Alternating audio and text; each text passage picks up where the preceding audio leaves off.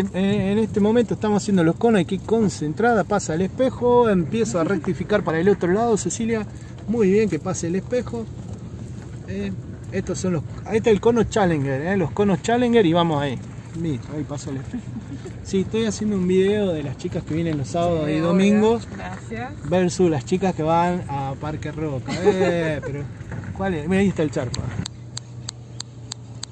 Bien, pasa el espejo, desde el medio ya empezás a girar todo, para cuando pase este cono ya empezás desde ahí a girar para el otro lado, eso, mientras vas girando el volante, eso, ya de ahí empezás a girar para el otro lado, eso, para que cuando pase el cono, y desde ahí, exacto, vas girando, vas girando, girando, girando, eso, y vas para el otro lado. Eso, ¿eh? Muy bien. Muy bien, muy bien, muy bien. Y ahí está. Ahí lo medí, pasa el espejo y te va. Bien.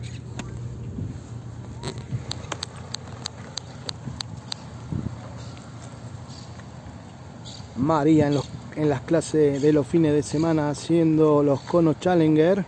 Fíjense cómo pasa, ella va a rendir en parque extremo. Muy bien, María. Eso, ¿eh? cuando pase el espejito, está en el parante. Y ya va girando para el otro lado.